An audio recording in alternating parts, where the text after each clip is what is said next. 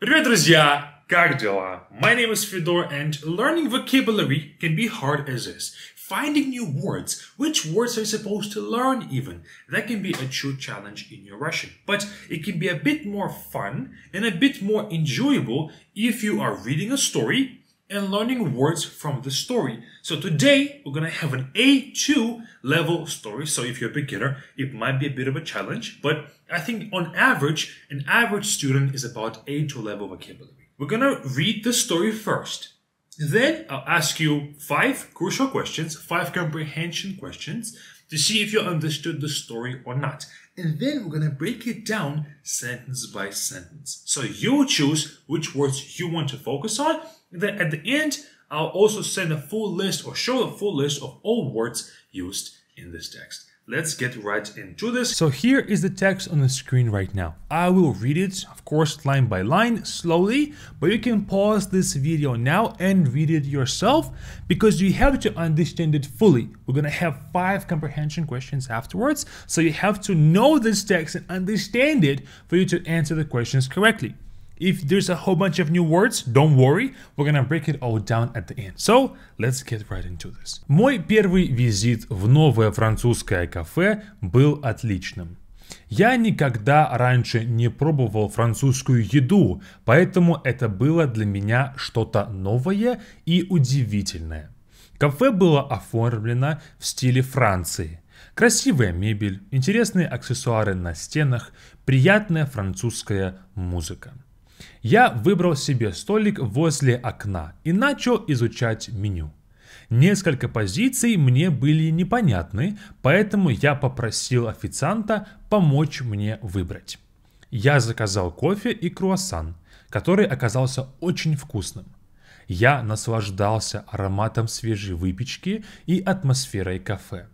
Официант был очень дружелюбным и помог мне понять, что значат некоторые слова на французском языке. Я думаю, что это был один из лучших опытов в моей жизни. Я обязательно вернусь в это кафе, чтобы попробовать еще больше французских блюд. That's the whole text. Now let's get into the comprehension questions. Next. What was the writer's impression of their first visit to the French cafe? Poor, average, good, or excellent? Three, two, one, it was excellent. We'll look at why it was excellent. We're gonna actually, can we go back? Let's finish all the questions and then we can talk about it, you know, kind of where the answers were when we break the text down. Next question What made the writer's visit to the French cafe new and exciting for them? The cafe had just opened. The writer had never tried French food before. The writer had just moved to a new city. His favorite movie, movie was shot in this cafe. A, B, C, or D? Which one is it? Three, two, one. The writer had never tried French food before. Correct. Hey! Next, what was the decor of the French cafe like? Was it modern, rustic, French, or flashy? Three, two, one. French cafe, French decor. Easy enough. Next, what did the writer do when they found some items on the menu confusing? They left the cafe without ordering. They asked the waiter for help. They ordered random items knowing without knowing what they were. They decided not to eat anything and just ordered coffee. Which one is it? A, B, C, or D? Three, two, one. They asked the waiter for help. Correct. And then finally we have this. What did the writer plan to do after their first visit to the French cafe? Share their experience with family, return to try more French dishes, write a blog post about this cafe, write a good review of this place. Which one is it? A, B, C, or D? Three, two, one. Return to try more French dishes.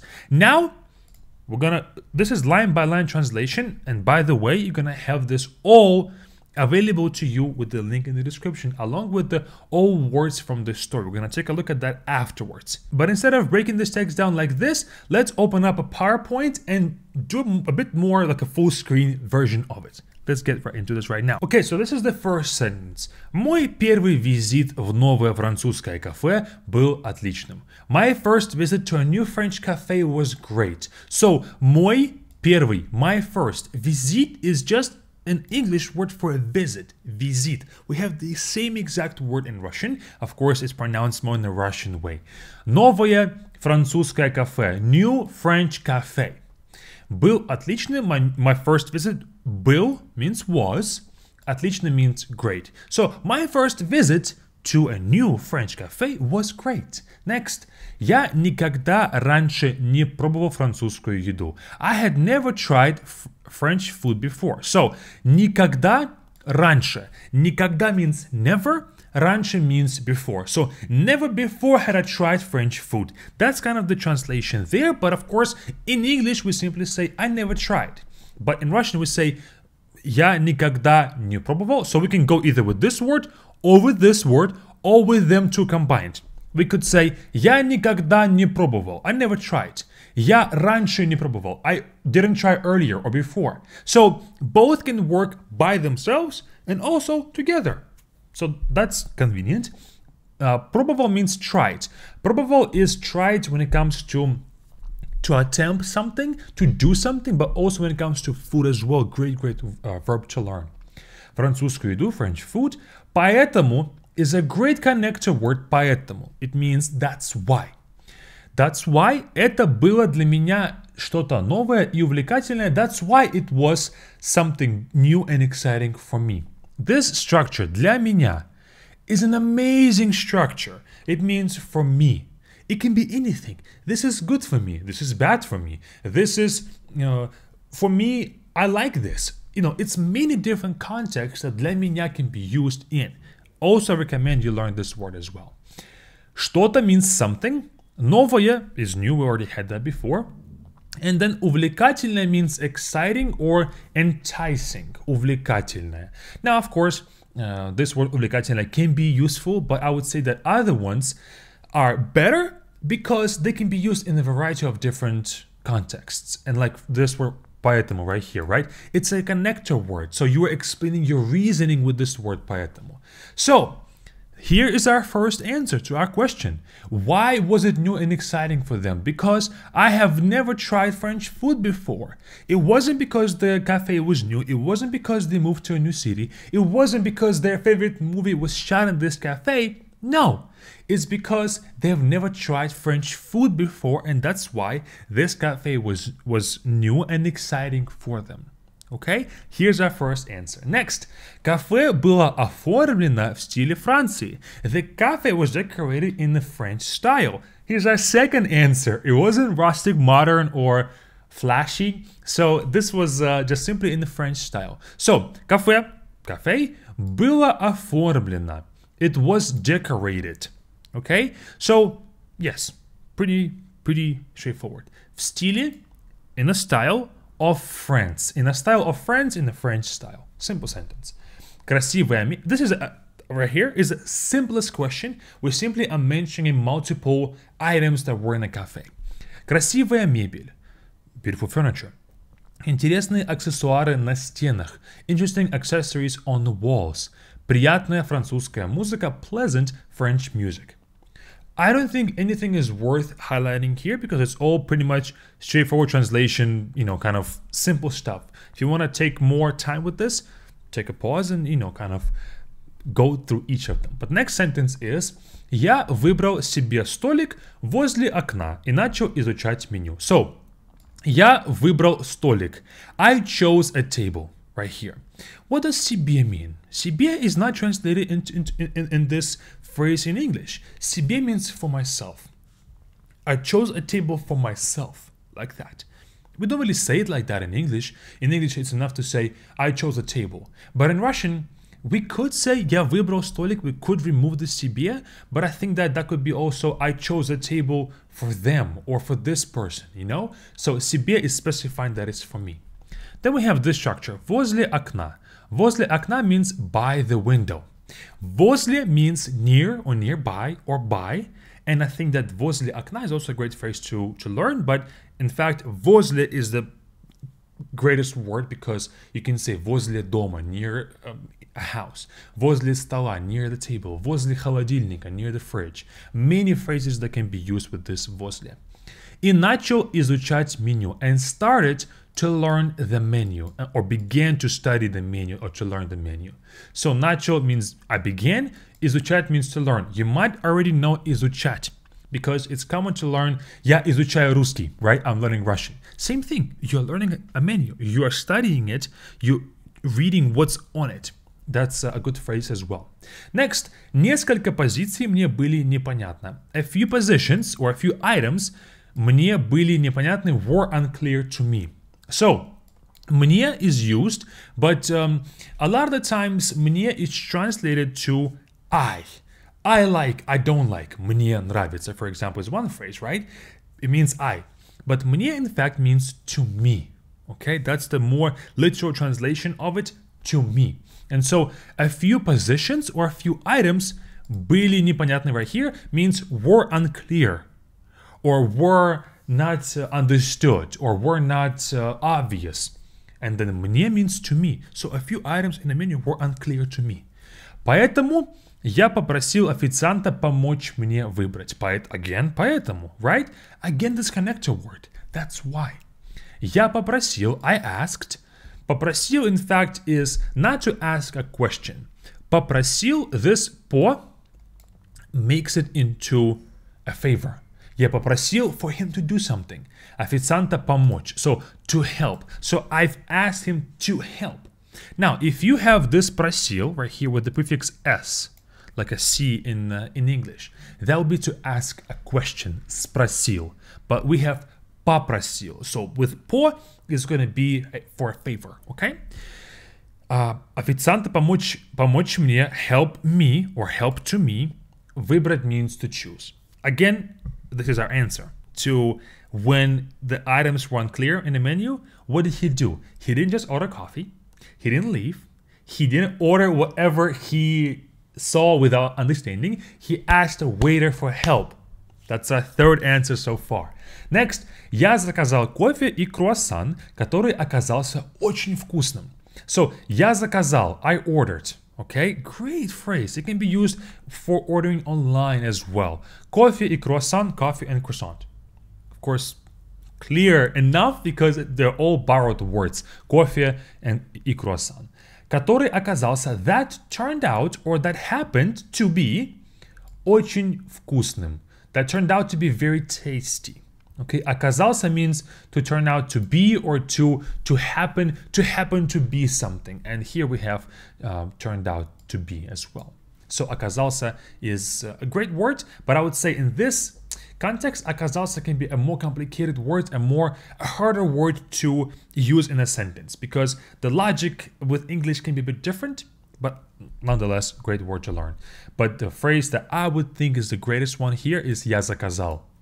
It can be used with anything. Ordering food, ordering groceries online, ordering packages online, anything. Next we have «Я наслаждался ароматом свежей выпечки и атмосферой кафе». I enjoyed the aroma of fresh fresh pastries and the atmosphere of the cafe. So, я наслаждался.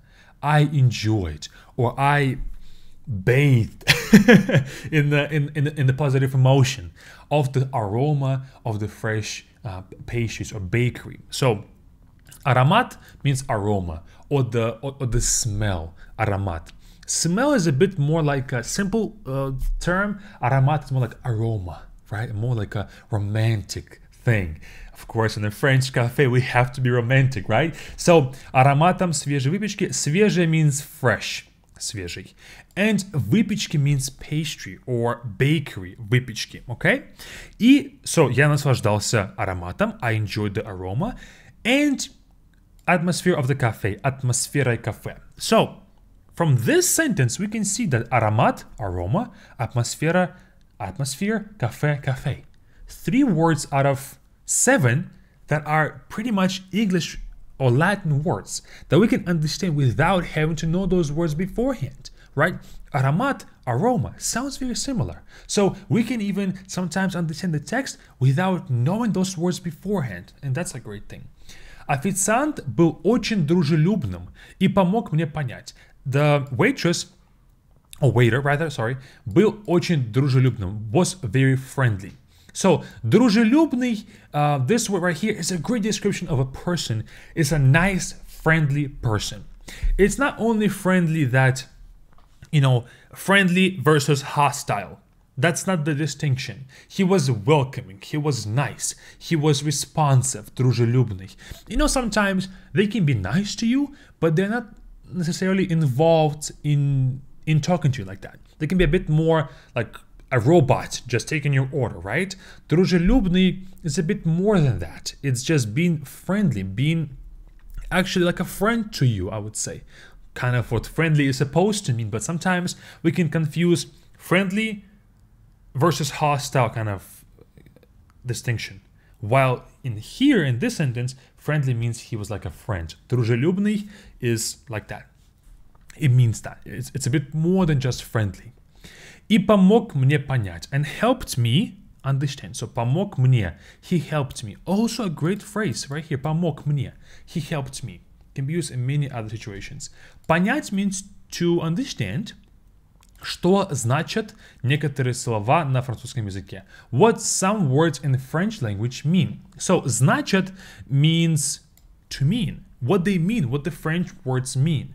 You know, sometimes when you order, it's like this uh, Italian word or this French word that you, even though it's in Russian or in English, even sometimes, right? You still have no idea what it is because it's like a dish name.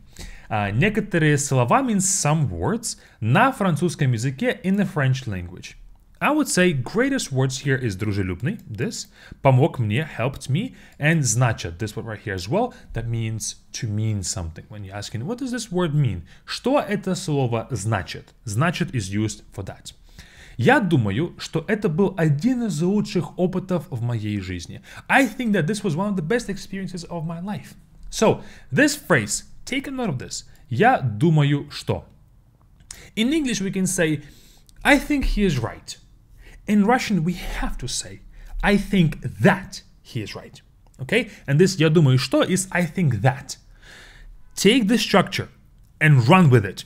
Say я думаю что and then continue with it, with your sentence. Okay? It's going to be much better for your for your Russian kind of to be more complete, I would say. I think that это был, this was, один из лучших, one of the best – another great structure that can be a bit more advanced, I would say, but один из лучших means one of the best of anything. Experiences, restaurants, uh, athletes, actors, bands, all of that. Okay? Один из лучших means one of the best. Опытов, without this of, опыт means experience.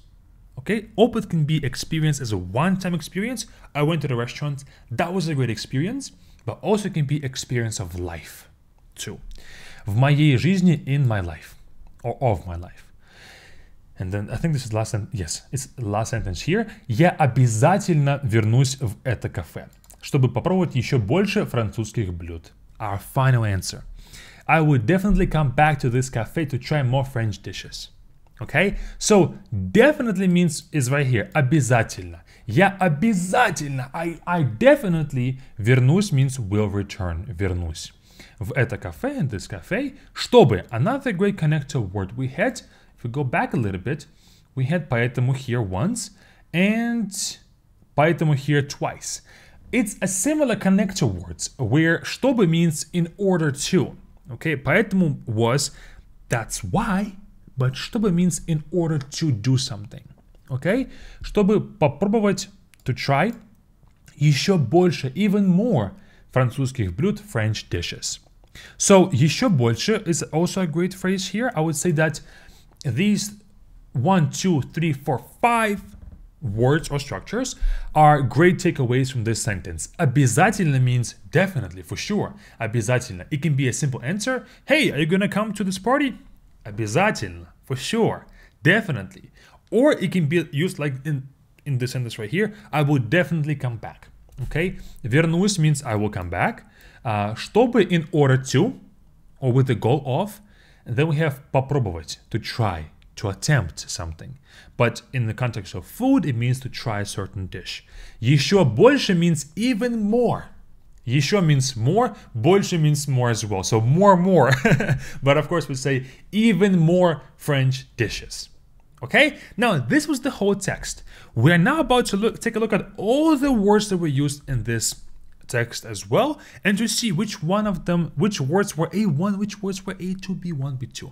And before we do that, guys, we have 12 of these stories on Be Fluent class platform. We have the same exact approach where you read a text, you then answer the questions, and then you go over each sentence with me. I do a similar breakdown as well in those 12 stories. So check it out with the first link in the description. If you liked this text, and if you learned a whole bunch of words, I can guarantee you that you will find those 12 stories even more useful because we have 3A1, 3A2, 3B1, and 3B2 level stories. So for any of you guys of any level, you'll find a story just for you. Okay, so now let's go over the all the words that are used in this text and the level. Right here we have a word translation, times that it was used in this text, and the level of the word. So total we have 79 words. We're not counting the first one because it's just simply the, the title. So 79 words total. Not a lot of kind of different words, right? But some of them like ya and bleach and e are used more than one time, of course. And then we have A1, A2, B1, B2, C1, C2 level words. I would say, unless you're super advanced, don't even look at the at this list right here. B2 can also wait. B1 no, this can be a bit more enticing to learn, but I would say start with A1 and go from top to bottom and highlight the words that you don't know. Let's say, okay, I know я, I know быть, I know и, I know, okay, выбирать. Hmm, let me highlight this word right here, выбирать. Cool word to choose or select. Great word to learn. And then you go down and you highlight more words, right? You highlight this one. You go and highlight this one right here as well. So you go and highlight the new words for you. If you have a set of 15 or 20 words, that's going to be more than enough. Of course, A1 might be easy, then scroll down to A2 level words. And then if that is easy, go to B1, B2, C1, C2 that's going to be a great kind of progression to you. But also, right here on the right side, we have this list of keywords in this text. What does it mean? It means that without knowing these words, you're going to have a hard time understanding the text itself. Some of the other ones can be you may not know them and you will still understand the text correctly. If you think about it, right? Francuski, French, cafe, um, um, waiter, to choose, to help, very, new, to be, friendly key words in this text that if you know them, you're gonna have a much easier time understanding it as well. So you can go over these again with the link in the description and do whatever you want with them and learn them as well. And that's it from me. Like I said, we have more of these stories on our Fluent class. Click the first link in the description and check them all out. We have 12 stories total. If you like this video, you will enjoy that content there as well. Check it all out with this button right here or continue learning Russian on our YouTube channel with this next video here. Enjoy.